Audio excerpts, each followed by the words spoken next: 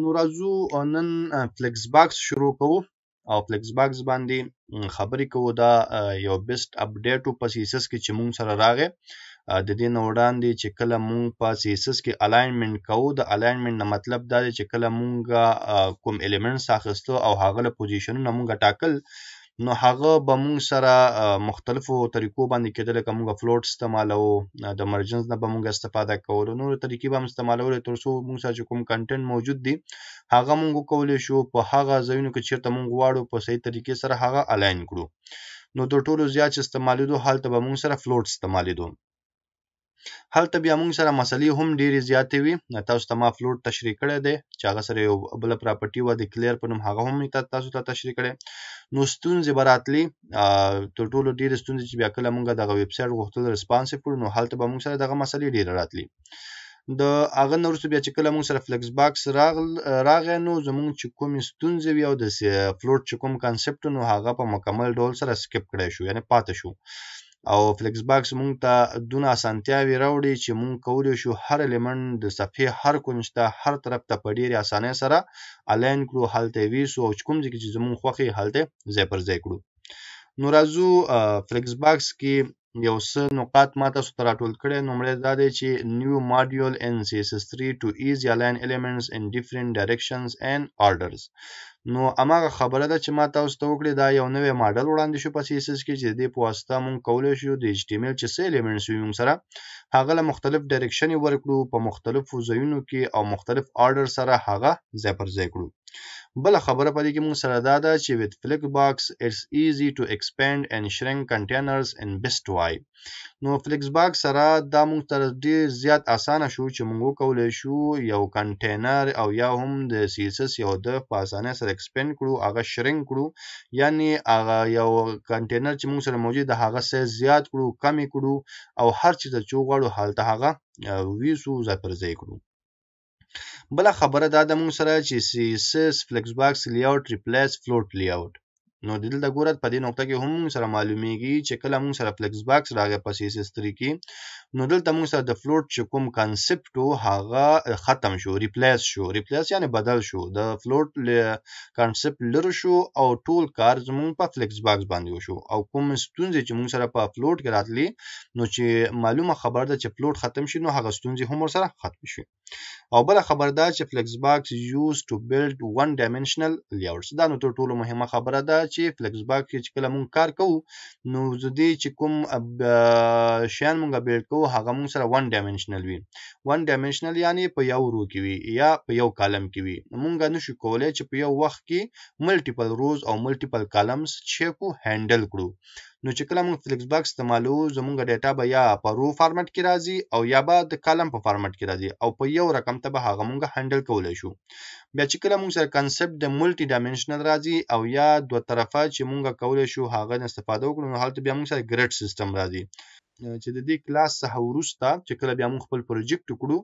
نو موږ به بیا چک وکړو ګریډ سیستم زده کوو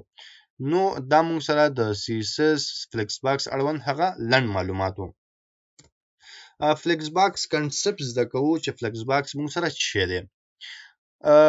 موږ چې کله یو دف واخلو نو هغه دف به موږ چې کوو د کنټینر غوندې ذهن کې ساتو نو داسې فکر کوو چې موږ سره دا کوم مین دف دی او یا چې کوم موږ سره مین کنټینر دی دا به موږ سره چې وي دا به موږ سره یو کنټینر وي او یا دې ته چې کوم موږ سره پیرنټ دف دی دا به موږ سره یو کنټینر وي په دغه دف کې دننه که موږ سره نور دفز وي او یا هم د ایچ ټي ایم ایل هر ډول الیمنت وي که هغه مونږ سره انلاین وي که هغه مونږ سره بلاک الیمنت وي هر څه چې مونږ سره موجود دي هغه مونږ کولی شو د فلیکس باک په واسطه ترتیب کړو نو که چېرته مونږ دغه پیرنټ کنټینر ته او یا د کنټینر ته یا د پیرنټ ډف ته مونږ ډسپلی فلیکس ولګوو نو اتومات د دې چې کوم مونږ سره سیستم هغه فلیکس کنټینر ته وړي ته وړي فلیکس کنټینر ته یعنی چې کوم پیرنټ ډیف دی دا به موږ سره اتومات فلیکس کنټینر شي او په دې کې چې موږ سره کوم شیان موجود دي هغه به فلیکس ایټمز شي یعنی دا به موږ سره کنټینر شي د فلیکس او دا چې دې کوم شیان موجود دي هغه به د فلیکس ایټمز شي یا د فلیکس هغه توکي شي نو چې هر شي باندې ګوره چې تاسو سره پیرنټ موجود وي او پیرنټ کې کوم چایلډ موجود وي او تاسو پیرنټ ته ډسپلی فلکس ولګول نو څه شیان چې تاسو سره موجود دي هغه به اتومات ځان چیش ته کنورټ کوي فلکس ته کنورټ کوي او مونږ ووی چې فلکس مونږ سره ون ډایمنشنل ده نو یا به مونږ سره دا په رو سیستم کې یا به مونږ سره ده په کالم سیستم کې وي نو بای ډیفالت دا مونږ سره په رو سیستم کې وي مونږ چې کله ډسپلی فلکس ولیکو نو زمونږ ټول الیمنټس رو شکل ته ووړي په دې شکل چې کله موږ سره ډیټا راځي یا په دې شکل چې موږ سره کوم الیمنټس الاین کیږي دې ته ویل کیږي مین اکسس او په دې شکل چې موږ سره کوم ډیټا ارینج کیږي یا په دې شکل چې موږ سره کوم الیمنټس ترتیبي کې دې ته ویل کیږي کراس اکسس یا که تاسو دا دا دا, دا موږ سره د فلیکس باکس ټرمینالوجي ده دا موږ چې دا د فلیکس باکس ټرمینالوژي ده یا د فلیکس باکس اصطلاحات دي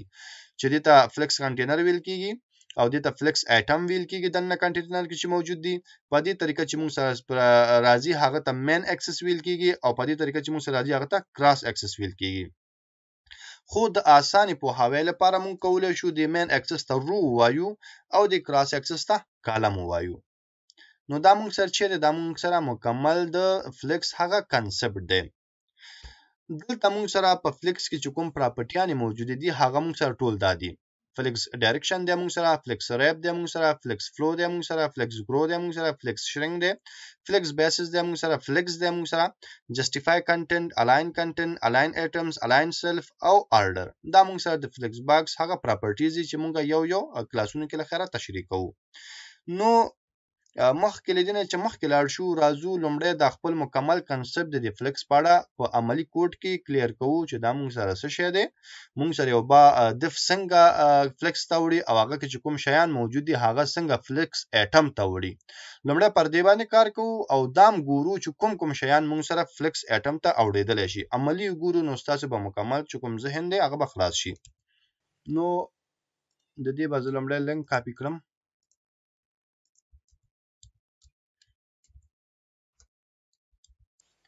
نو موږ یو فایل جوړ کړی د فلیکس باکس ډاټ ایچ ټي ایم ایل په نوم باندې او دې خواته موږ سره سی اس اس دی نو د هر څه نه وړاندې به موږ خپل د ایچ ټي ایم ایل سټرکچر لیکو نو ایچ ټي ایم ایل ټیګ مو واخستو دې کې به موږ هډ ټیګ اخلو هډ ټیګ کې دنه به موږ ټایټل اخلو او لاندې به مونږه باډي ټیګ اخلو نو لومړی راځو خپل سی اس اس فایل دلته لینک کوو نو لینک لیکو او دې چې کوم ریلیشن دی هغه به مونږ سره سټایل شیټ وي او دې چې کوم مونږ سره ټیب دی هغه به یا ټیکسټ وي او یا به مونږ سره سی اس اس وي او دغه چې کوم اچریف دی هغه د دې چې کوم اډرس دی نو دلته موږ سره سی اس اس په نوم یو فولډر دی هغه کې موږ سره سټایل ډاټ سی اس اس په نوم باندې فایل دی نو زمونږ مکمل چې کوم سیټ اپ دی هغه وشو اوس راځو نو مونږ وی چې مونږ سره به یو مین کنټینر موجود وي شی به وي مین کنټینر به مونږ سره موجود وي یو خبره یاد ساتئ چې کله مونږ کلاسونه مخ ته ځو نو تاسو هم دا خپل ځان عادت کړئ او اډوانس چې څه خبرې راځي یعنی تاسو دا خپل عادت داسې جوړ کړئ چې مونږ بیسیک نه اډوانس ته ځو نو اډوانس په ژبه به مونږ سره خبرې کوو او کوم ټرمینالوژیست چې دي د هماغه پر اساس به مونږ خبرې کوو مخکې به ځو نو اوس به مونږ چې دف دی مونږ فلیکس باکس کې کار کوو نو دف ته به مونږ نارملی کنټینر وایو او هغه مونږ سره ما تاسو ته ویل هم چې دف مونږ سره د کنټینر معنا لري نو دلته چې مونږ سره مین کوم کنټینر راځي یا مین کوم دف راځي نو هغه به مونږ لومړی اخلو نو دلته زه لیکم چې دف او د دفته زه کلاس ورکوم کلاس مونږ هر څه ورکولې شو ستونزه نشته چې هر نوم ورکوي خو د دې له خاطر چې مونږ دغه شیانو سره بلد شو نو دلته مونږ کنټینر ورته لیکو نو دا به زمونږ چې وي دا به زمونږ مین دف وي او دا به زمونږ مین کنټینر وي په دې کې به مونږ الیمنټس اخلو په دې کې به مونږ چې اخلو الیمنټس اخلو نو د فعل حال لپاره مونږ صرف او صرف دې کې دفونه اخلو او هغه کې مونږ صرف یو ډیټا ورچو نو یو دغه خلمه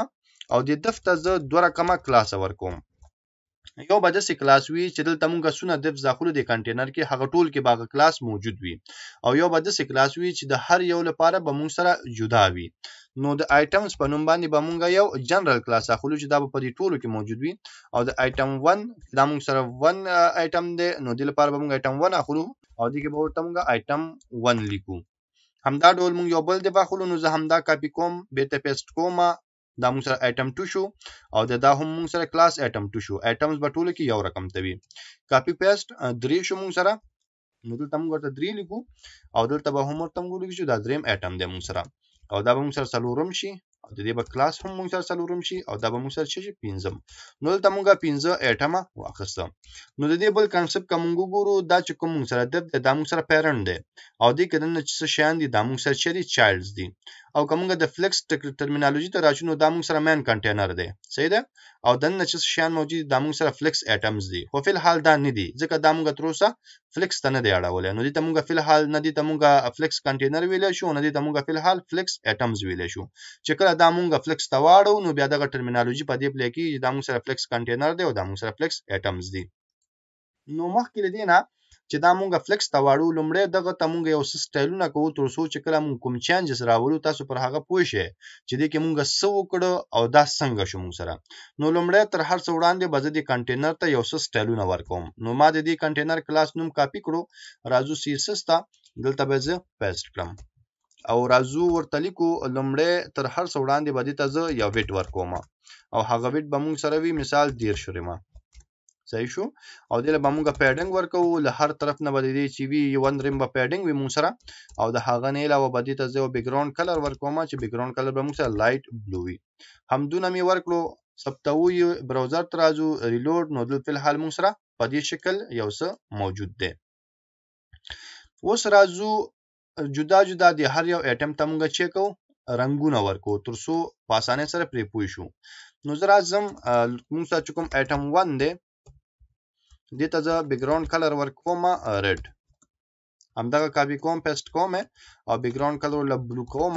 او دې چې کوم ایټم 1 دی دې په ځای ورته ایټم 2 لیکم کاپی پیسټ اټم 2 3 ته اړوم او د چې کوم کلر دی هغه زه بدلوم ګرین ته کاپی پیسټ ګرین چې دی دا به زه واړوم پینک ته او د اټم کلاس څلور به شي او کاپی پیسټ پنځم اټم شو موږ سره او پنځم اټم ته به زه کلر ورکړم ټومیټو نو دا موږ سره د ایټمونو هغه کلرز شو اوس که زه راشم دا سیف کړم نو دا موږ سره په دې شکل سره راغی نو فی الحال دا موږ سره چې نه دی دا موږ سره فلیکس سیستم کې نه دی نو د فلیکس سیستم لپاره به زه څه کوم د دې لخاطر چې دا موږ فلیکس ته واړو نو موږ سره چې کوم مین کنټینر دی دې ته به مونږه ډسپلی فلیکس لیکو نو چې کله مونږه دې ته ډسپلی فلیکس لیکو نو دا مونږ سره مین دی کله چې دې ته مونږه ډسپلی فلیکس لیکو نو دا به مونږ سره څه شي دا به مونږ سره شي فلیکس کنټینر او دې کې دنه څه شیان موجود دي هغه به مونږ سره څه شي هغه به مونږ سره شي فلیکس ایټمز نو زه راځم همدغه کنټینر ته او کنټینر کې دننه به ورته لیکم ډسپلی او ډسپلی کې به زه ورته لیکم چې فلیکس کله چې فلیکس ورته ولیکو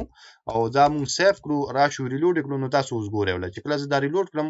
نو زمونږ چې څه الیمنټس موجودو هغه چې ته وړېدو رو سیستم ته وړېدو یعنی دا مونږ سره کوم سیستم ته وړېدو دا مونږ سره رو سیستم ته وړېدو او یا مونږ مخکې وی چې دا مونږ سره کوم اکسس دی اوس مین اکسس ته واوړېدو او بای ډیفالت چې کله مونږه فلیکس اخلو هغه چې کوم ډایرکشن وي هغه مونږ سره روټ سیستم سره وي نو په دغه کنټینر کې چې تاسو سره هر څه موجود وي په دې کنټینر کې تاسو سره چې هر څه موجود دي او تا دې ته ډسپلی فلیکس ولیکو نو هغه به تاسو سره همدغه سی وړي لکه څنګه چې دا مونږ سره واوړېدو نو د دې له خاطر چې د هر یو منځ کې لږ ذره مرجن راشي مونږ به راشو چې کوم مین کلاس اخیستی مونږ ایټمز په نوم باندې نو هغه ته زه مرجن لیکم هر طرف نه مثال 0.5 فریم نو دا مونږ سره هر طرف نه مرجن واخیستو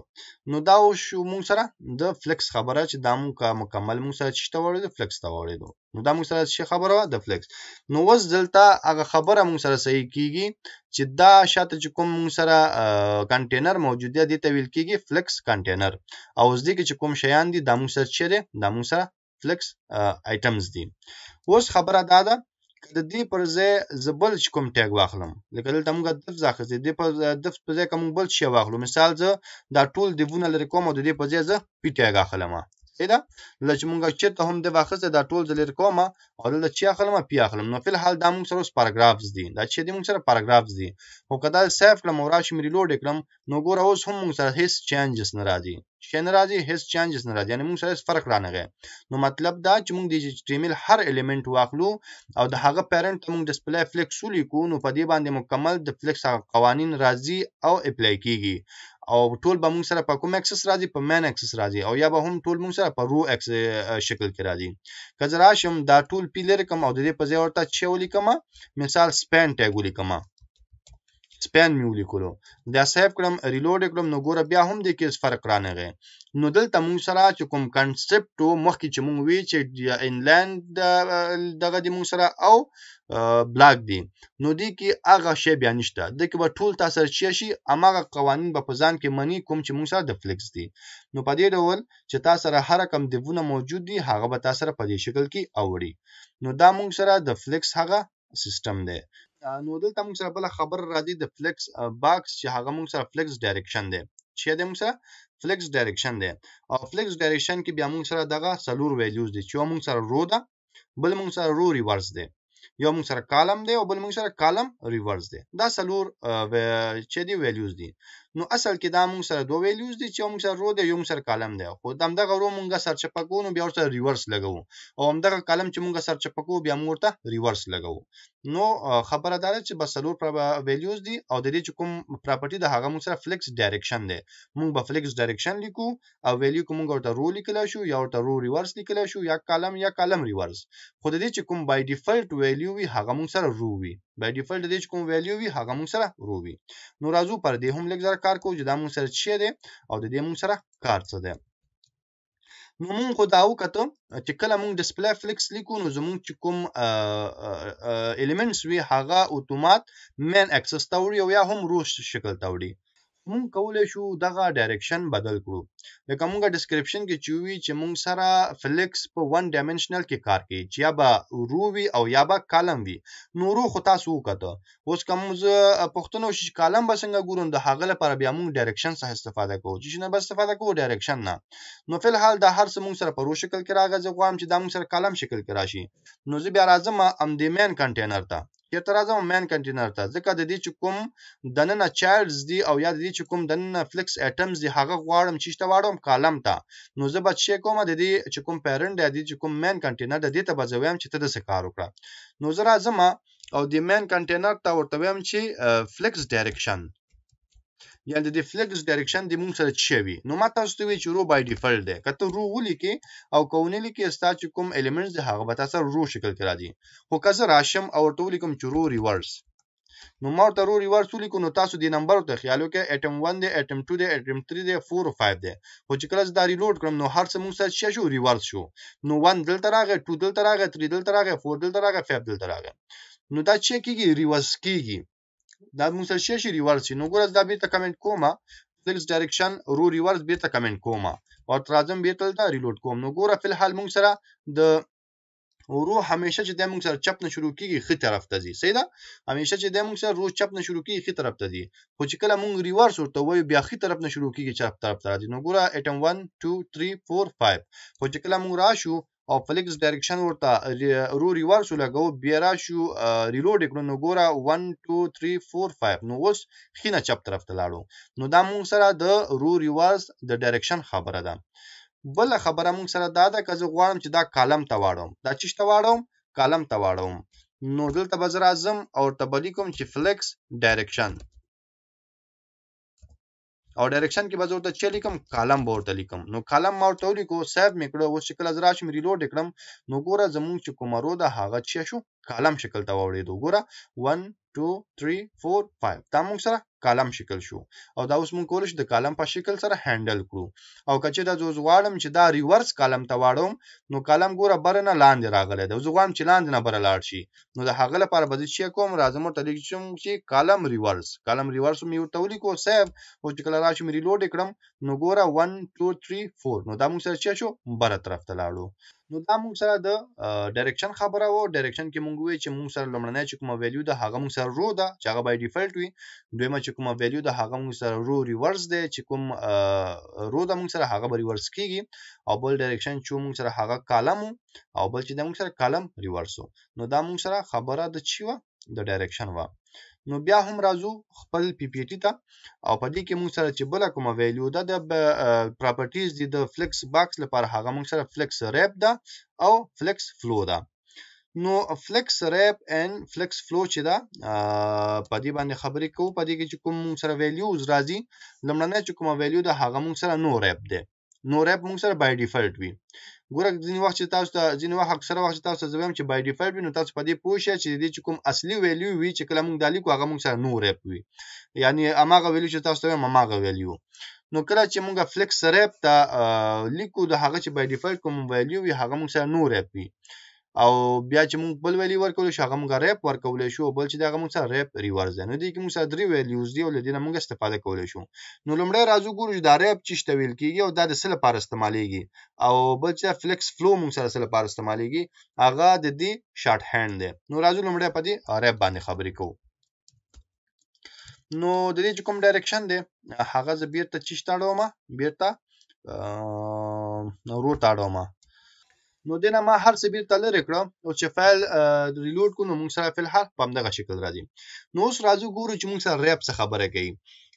ریپ موږ سره هماغه د چی خبره ده د اوورفلو خبره ده د چی خبره د اوورفلو چې کله زموږ اټمز د خپل کنټینر نه اوورفلو کوي نو دلته موږ سره بیا مسله د ریپ راځي نو دغه ستونزې ته په کتلو سره بیا مونږ کولی شو د فلیکس ریب له پراپرټي څخه کار واخلو نو زه راځم لومړی دا چې کوم مونږ اخیستی دی فلیکس ایټمز چې دی دا مکمل دی ته به زه یو پیډینګ هم ورکړم تر څو زمونږ دا کوډ نور هم داسې خوندور ښکاره شي هر کار به په شوق کوو نو تر اعظم یو پیډینګ هم ورکوم ټاپ او باټم نو له 05 ورکوم ریم او لیفټ رائټ نو ته 1 ریم ورکوم او د چې کلر د ها کلر ورته ورکوم وایټ او بره ما نه سیمی کالن پاتې دی هغه به هم زه ورکړم سیف او دلته به موږ سره یو څه دا منظم شي ښه نو اوس دلته موږ سره خبره د چی دا د ریپ دا نو د ریپ لپاره زه یو څه نور هم دلته فلیکس اټم ځاخلم نو کاپی پیسټ دا به موږ سره شپږم شي او دا به موږ سره شپږم شي کاپی پیسټ دا به موږ سره وم شي او دا به هم مونږ سره وم شي یو بل هم جوړوو نور هم تاسو جوړولی شئ څونه چې تاسو غواړئ هغومره تاسو جوړولی شئ نو اتو پورې به زه بس کړم او دلته به راشم کلر به هم ټولو ته زه ورکړم نو دا به شپږم شي او د دې لپاره چې کوم کلر دی هغه به زه ورته بلیک ورکړم کاپی پیسټ د دې به کلر مونږ له ورکو ماجنټا کاپی مخه دلته چې کوم نمبر دی فلیکس ایټم 7 او 8 دې له به زه ورکړم ګرې او دلته راځم دا زمونږ د کنټینر چې کوم ویټ دی دا زه کمومه دا زه په دې خاطر کمومه چې زمونږ اوس هم دا ریپ کوي ووتو اوورفلو یې وکړو خو زه غواړم چې لږ نور هم اوورفلو وکړي او د دې دا ویټ کموم چې دا لږ داسې کم شي او دا ډاټا دې نه ډېره اوورفلو وکړي نو د هغه لپاره دا ویټ چې دی دا ما ورته ټرټي ریم ورکړی نو زه دلته راځم ورته ټونټي ورکوم سیو ریلوډ نو دې ته ویل کېږي اوورفلو او دا موږ سره یوه ستونزه ده دا موږ سره څه ده یوه ستونزه ده ځکه زموږ چې کومه ډاټا ده دا خپل چې کوم د دې مین کنټینر د هغې نه د باندې وته دا ولې د باندې وتلې دا ځکه د باندې وتلې چې دې ته کوم فلکس ریپ دی هغه تور ته نور ریپ اخیستل شوی دی یعنی مطلب دا دی چې هر څه کیږي کته د باندې وځي کته د کنټینر نه د باندې وځي کته د براوزر نه د باندې وځي وځه ته به ماتیږي نه ته به همدغسې وځي خو که چېرته ته غواړې چې کله هم د دې سایز د خپل پیرنټ نه ډیریږي او د باندې وځي هلته دا ریپ شي ریپ مطلب دا دی ما چې دویم دویم رو ته د راښکته شي نو د هغه لپاره بیا موږ دلته راځو پیرنټ ته او پیرنټ ته ورته وایو چې فلیکس ریپ او ما تاسو ته ویلي نو ریپ بای ډیفالت دی که موږ ورکړو که ورنکړو نو دا موږ سره نو ریپ دی دا به موږ سره نه ریپ کېږي خو که چېرته زه راشم ورته ریپ ولیکم سیف یې کړم او راشم یې ریلوډ یې کړم نو ګوره زموږ چې کوم ایټمز دي یا زموږ چې کوم فلیکس ایټمز دي هغه به خپله ځان ترتیبوي او چې کله ګوري چې زه یاره زه د خپل پیرنټ څخه د باندې وځم یا د فلکس د کنټینر نه دباندې وځم نو هغه ماتیږي او بل رو ته راځي هم ترڅونه چې تاسره ډیټا موجود وي هغه به ټول تاسره ماتیږي نو اوس چې ته کله ریسپانسیو ویب سایټ جوړې نو ته فکر وکړه ستا کار څونه اسانه شو تا مثال اخیسته دی یو سیټ بار اخیسته او هغه ته تا ویډ ورکړی دی همدا ډول تا بیا یو مین کنټن اخیسته دی هغه ته تا ویډ ورکړی دی او دې طرف ته تا یو بل شي اخیسته دی نو ته خپل دغه د تاور ته ولګو چې کله هم ته له خپل سیاست څخه وځي نو ته چې کوه ته ریپ کېږه نو تا ته ضرورت نشته ته له اضافي کوډونه وکې ډایرکټ به خپل چې کله دی له خپل سیاست څخه وځي نو هغه به تا سره ریپ کېږي نو دا موږ سره خبره ده د ریپ نو په ریپ کې موږ لومړی خبره دا وکړه چې یو نو ریپ وو بل موږ سره د ریپ خبره وه همدغه ریپ کېدلی شي موږ سره په کالم کې هم راشي په چیش کې راشي په کالم کې نو دا خو موږ سره رو کې راغله زموږ ډیټا چې وو موږ ډیټا چې وو مین اکسس باندې یا په رو شکل کې ریپ کېدو نو موږ ورته دلته ولیکلو چې فلکس ریپ دی هغه دې موږ سره ریپ شي نو هغه موږ سره ریپ شو خو احیانا که چېرته زموږ د فلکس ډایرکشن بدل وي نو زه راغلی مو ته لیکم چې فلکس ډایرکشن او ډایرکشن ورته چې ورکوم کالم ورکوم نو اوس به زموږ ډیټا چې وي زموږ ډیټا به موږ سره کالم شکل کې راځي صحیح ده زمونږ چې کومه ډیټا ده هغه به موږ سره کالم شکل کې راځي او کالم شکل کې زمونږ چې کوم ویډ دی هغه فل هایټ دی د مین کنټینر هغه برقرار دی زه راځم د دې هایټ کموم د دې مین کنټینر هایټ کموم تر څو دا مین کنټینر بر راشي او دا نور فلیکس ایټم د دې نه ریپ وکړي نو دلته موږ چې ویډ ورکړی د ویډ په ځای ورته هایټ ورکوم نو اوس زمونږ د دې مین کنټینر هایټ به شل ریموي چې دا ریلوډ کړم نو زه راځم دا او لس لس کنټه لس دغه ورکوم ولا ریلوډ نو دا وګوره اوس زمونږ چې کومه ډاټا ده هغه له خپل مین کنټینر څخه د باندې راوتې ده خو فل حال دا مونږ سره په کوم سیستم کې دی دا مونږ سره په رو سیستم کې دی دا ځکه مونږ سره فول ویډ شو چې هلته ما کوم ویډ ورکړی او هغه ما ترې لرې کړو نو دا مکمل دا خو دف دی که نه مونږ سره نو دا مکمل ټوله صفحه ونیوله نو که زه بیرته راشم دلته له ویډه مو ټاکم کنفیوژن باید را نشي دا مې چې یو پکسل مې ورکو یار نو دا اوس وګوره زمونږ چې کوم مین کنټینر دی هغه دومره دی او دې کې چې کومه ډیټا دی یا کوم الیمنټ چې موږ اخیستی هغه ریپ شوی دی اوس زه غواړم چې داسې مه کوه که نه دغه شوی دی اوورفلو شوی نو زه اوس غواړم چې داسې دې ونه شي دا دې موږ سره اوورفلو نه شو نو دلته زه راځم ورته چې ما چې فلیکس موږ سره چیک ریپ کوا چې کله له خپل پیرنټ نو نو ریپ کوي نو چې کله زه دا ریلوډ کړم نو سر لګورا دا ټول موږ سره چی شو په همغه شکل سره وشو چې کوم یو موږ مخکې کتلی وو نو اوس زموږ چې کومه ډیټا ده خو دلته ډیټا آرډرینګ ته وګوره دې کې فرق راغی ګوره 1 دلته راغی 2 دلته راغی 3 دلته راغی 4 دلته راغی 5 دلته راغی او 6 دلته راغی همدغه څه په قطار خو رو کې خو بیا داسې نه راځي رو بیا داسې راځي وان دلته راځي ټو دلته راځي تری دلته راځي فور دلته راځي فایف دلته راځي سکس دلته راځي هغه داسې راځي او دا چې دی بیا دا کالم وایز دی وان ټو تری فور فایف سکس داسې راغی نو دا موږ سره د ریپ خبره وه اوس دلته موږ ته یو بل خبره وه چې دا موږ سره ریپ شي خو څنګه ریپ شي ریورس ریپ دي شي دا د موږ سره څنګه ریپ شي نو دلته موږ ورته لیکو چې دا د موږ سره ریورس ریپ شي نو ګوره پخوا به یو چیرته وو دا به زه بېرته لرې کړم ټیب ریلوډ نو ګوره پخوا دیز نه شروع کېدو دلته دلته داسې راتلو یو دوه درې څلور پنځه شپږ اووه اته اوس به دیز نه شروع کېږي یو دوه درې به دلته راځي څلور پنځه شپږ څلور پنځه شپږ به راځي بیا به اووه اته راځي نو دلته چې راشو رب ریورس ته لیکو سیف کړو او را شوري لوړ کړو نو ګوره یو دوه درې څلور خو مغه شه ده بس سرچپه شو ریورس شو نو دا موږ سره په کالم کې ریورس شو که غواړې چې دا موږ سره دغه کې وګوره ورو کې وګوره نو لومړی به زه داسې وکړم چې دا به هم بند کړم ډایرکشن به هم بند کړم هلته به راشم د دې چې کوم هایټ دی هغه به هم زه بند کړم تیب به کړم او راوه شم ریلوډ به کړم نو دا موږ سره اوس رو شکل کې راغی اوس کز راشم او دلته ورته ولیکم چې دا ریپ کړه خو څنګه به ریپ کې ریورس به ریپ کې نو چې دا ما ریورس ریپ کو سیب مې کړو نو اوس ګوره ورله یو دوه درې څلور پنځه شپږ اووه اته نو په دې شکل دا موږ سره راغی نو دا موږ سره د ریپ خبره وه د فلکس خبره وه او د ډایرکشن خبره وه نو دا موږ سره صرف خبره د فلکس ریپ وه د فلکس فلو خبره موږ سره لا پاتې ده او فلکس فلو چې دی د فلکس ریپ او د فلکس ډایرکشن شارټ کټ دی شارټ هاند دی چې دی شارټ هاند دی چې کله فلکس ډایرکشن او فلکس ریپ دواړه یو ځای استعمالوي نو بیا تاسو کولی شئ چې ډایرکټ دلته ولیکئ چې دا به جوال صاحب هم تاسو به وخم نو دا اوس ګوره موږ سره د سراغه کله ریپ هایټ به ضرور آن کوم دا موږ سره صحیح شي نو دا اوس ګوره موږ سره د سراغه سیدا دا ریورس بم تیلر کو یار نو دا اوس موږ سره څنګه راغی په دې طریقې سره راغی او ریپ شو نو دا موږ دوه ویلیو استعمال کړي یو خو دا چې موږ د دې ډایرکشن کالم ته اړولې بل دا چې دا موږ فلیکس ریپ کړي اوس کدا دواړه تاسو غواړئ چې چیو کې دا دواړه تاسو غواړئ چې په یو کرخه کې وکړئ شارټ هاند استعمال کړئ نو هغه کې چې د موږ سره په سیسس کې راځي فلیکس فلو په نوم باندې او په هغه کې به تاسو لومړی ډایرکشن ورکوي او بیا به تاسو ریپ ویلیو ورکوي نو زه به داسې وکم نو دلته به زه راشم